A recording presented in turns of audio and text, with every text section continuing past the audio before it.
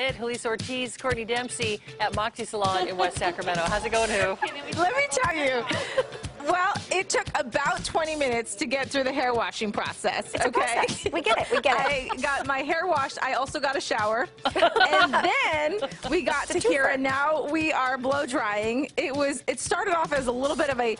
Uh, it was like a wrestling match with just himself between the blow dryer and the brush, but now he's got it figured out. No burning yet.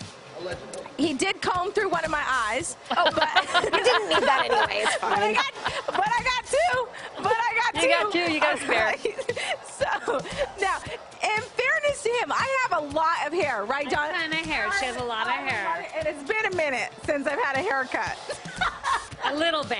Just don't don't do that, people. She did. She's like, do not tell people to go this long without a haircut. All right, so we are just gonna get through. I mean, I feel like we'll probably just get through the blow drying. But how's he doing so far? Oh, a little less on that heat right there. A little He's less on the doing heat. good. We just turned up the uh, blow dryer, so he's not used to working with it this high, but he's got it down with his fingers. It was a minute, and he got it down quick. I'm looks so like he's impressed. doing great, actually. All right, now Miss Courtney Dempsey is behind you. I'm gonna pass this over to you. There she is, Courtney. So I should probably explain why this man is doing my hair. My husband looks more like Steve than he does this man here, okay? the reason why my husband is not doing my hair today is because he's a very smart man.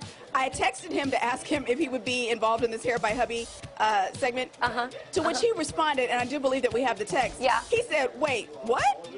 I'm not doing your hair, girl. That's a trap. That's a trap. That's a trap. a black woman's hair is not to be fooled with.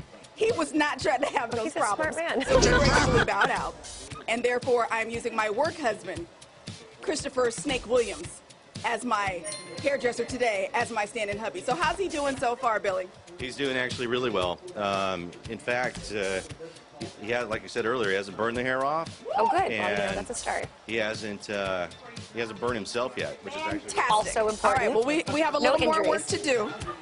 So we'll come back to you guys a little bit later in the hour. How about that? That Okay. sounds good. That And- sounds Bro. good. When do we Watch get to my find out why he's called Snake? Is that, are we gonna, is, is there a backstory to that? Oh, okay, we'll tell you that later, Okay, too. okay. Looking forward to it. Thanks. that later. So we also want you to take part in our uh, instant poll uh, this hour. Uh, who you think has the better hair form uh, among our Hair by Hubby contestants? Uh, and uh, you can vote on GoodDaySacramento.com slash vote now. Uh, right now, because we haven't really seen the finished product, you can choose between Courtney, uh, Julissa, and Tina is on her way out there. She's Oh, going to she next is. with, I think, with TV hubby Dave Grashoff. So, so far, Courtney's got some curl going on back there. Uh, so 100% of the votes are going to Courtney. Julissa is just beginning the blow drying process. Right. So no votes for her, and then Tina's uh, heading over that way right now. So right now, Courtney's in the lead. But if you'd like to participate, again, gooddaysacramento.com slash vote now, or just on gooddaysacramento.com, you'll find a button right there along the yellow bar at the top of the page uh, to take part in our poll.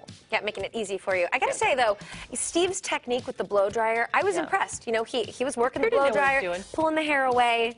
You don't want to get too close to the head. it's very hot air coming out. All right, still ahead, we are meeting the newest addition to Fairy Tale.